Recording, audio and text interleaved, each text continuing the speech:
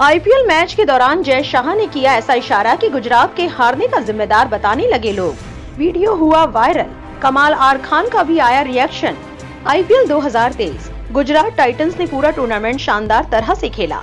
हार्दिक पंड्या की टीम ने Chennai super Kings को लीग मैच में हरा दिया। लेकिन जब बारी प्लेऑफ की आई तो से पार नहीं पा सकी। दो मैचों में भिड़ंत हुई और दोनों हार गई लेकिन दोनों ही टीमें तगड़ी हैं तो टूर्नामेंट में दोनों के बीच मुकाबले कांटे के हुए। दांतों तले उंगली दबाने वाले। फाइनल मुकाबला भी ज़बरदस्त रोमांच से भरा रहा। कोई टीम अगर आईपीएल के फाइनल तक पहुँचती है तो ज़ाहिर है कि उसके हर खिलाड़ी ने कहीं न कहीं शानदार खेल खेला होगा। अपना सौ फ़ीसदी दिया होगा। आईपीएल 2022 की चैंपियन रही गुजरात टाइटंस के साथ इस बार भी ऐसा ही था।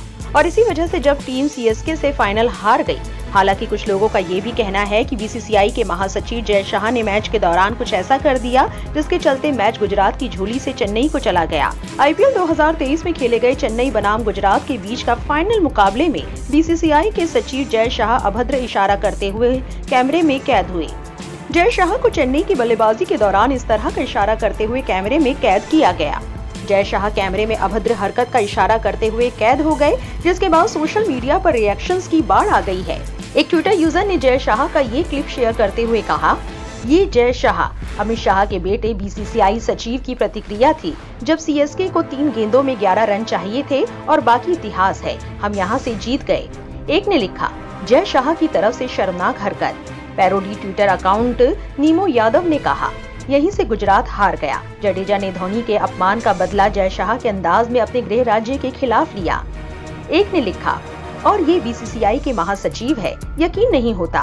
Film critic Kamaal R Khan ने जय शाह से कहा, प्रिय जय शाह, आप आईपीएल के मालिक हैं तो प्लीज़ ध्यान दें। जब आप ऐसी अश्लील हरकत कर रहे थे, तब लाखों परिवार एक साथ अपने घर पर आपका आईपीएल देख रहे थे। उम्मीद है कि आप आधिकारिक तौर पर गलती के लिए माफ़ी मांगेंगे।